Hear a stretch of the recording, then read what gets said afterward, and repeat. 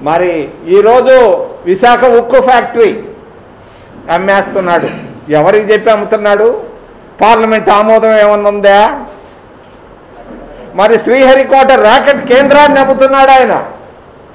ఎవరి ఆమోదంతో చేస్తున్నాడు ఇది? నెల్లూరు రైల్వే స్టేషన్ అమ్ముతున్నాడు. విజయవాడ రైల్వే స్టేషన్ అమ్ముతున్నాడు. ఎందుకు? అవసరం ఏముంది? ఆ రోజు పివి నరసింహారావు మరి సరళీకృత విధానాలు తీసుకొచ్చేదానికి కారణం ఆ రోజు విదేశీ మారక ద్రవ్యం లేదు. ఆయన క్యాబినెట్లో నేను మంత్రిగా ఉన్నా.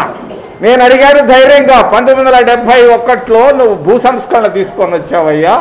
పేదవాళ్ళకి అంకిత భావంతో పనిచేశావు. ఇరవై సంవత్సరాల తర్వాత పంతొమ్మిది వందల తొంభై ఒకటి వచ్చింది. నువ్వు పేదవా కోటీశ్వర్ల వైపు ఎందుకు వెళుతున్నావంటే ఆయన చెప్పుకొచ్చాడు. నీకు తెలుసు కదా మారక ద్రవ్యం విదేశీ మారక ద్రవ్యం మన దగ్గర లేదు. ఐదు బిలియన్ డాలర్లే ఉంది. ఈరోజు ఎరువులు దిగుమతి చేసుకోవాలంటే మన దగ్గర ఏమీ డబ్బు లేదు. ఈ పరిస్థితుల్లో సరళీకృత విధానాలు అవసరం వచ్చిందని చెప్పాడు. ఒప్పుకున్నాం. ఆయన్ని తొమ్మిది సంవత్సరాల తర్వాత కలిశాను. రెండు వంద రెండు వేల సంవత్సరంలో కంటే ఆయన చెప్పకొచ్చాడు. దేశానికి కొంతవరకే సరళీకృత విధానాలు అవసరం. అంతేగాని దేశాన్ని అమ్మే కార్యక్రమాలు పోవడం తప్పని పివి నరసింహారావు గారు బతుకున్నప్పుడే చెప్పాడు ఆయన నాకు.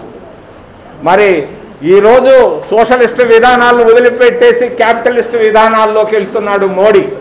ఈ దేశాన్ని అమ్మేస్తున్నాడు. India for sale. India for sale. ఏదైనా కావాలంటే రావు ఎవరైనా అడగొచ్చు తీసుకోవచ్చు పోవచ్చు. నిన్న మొన్న టాటాలకు అమ్మాడు విమానం విమానాలు.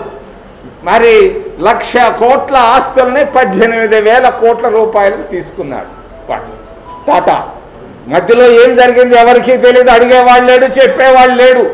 ఈ విధంగా దేశాన్ని అమ్ముడు అమ్మేస్తున్నారు.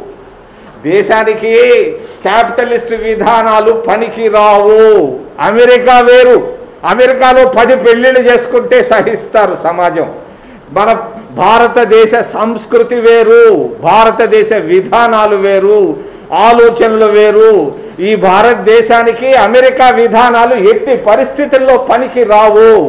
పులిని చూసి నక్క వాతలు పెట్టుకున్నట్టుగా పెట్టుకుంటున్నాడు కుక్క వాతలు పెట్టుకున్నట్టుగా పెట్టుకుంటున్నాడు నరేంద్ర మోడీ. ఇది పనికి రాదు. ఆయన వాడుతున్నటువంటి విమానం అంతకుముందు డకోటా విమానాల్లో జవహర్లాల్ నెహ్రూ ప్రయాణం చేసేవాళ్ళు. చిన్న విమానాల్లో ఇందిరాగాంధీ ప్రయాణం చేసేది రాజీవ్ గాంధీ ప్రయాణం చేసేవాడు మన్మోహన్ సింగ్ ప్రయాణం చేసేవాడు.